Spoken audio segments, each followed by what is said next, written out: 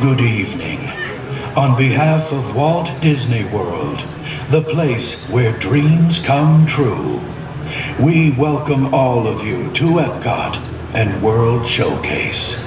We're gathered here tonight around the fire as people of all lands have gathered for thousands and thousands of years before us to share the light and to share a story. An amazing story, as old as time itself, but still being written. And though each of us has our own individual stories to tell, a true adventure emerges when we bring them all together as one. We hope you enjoy our story tonight Reflections of Earth.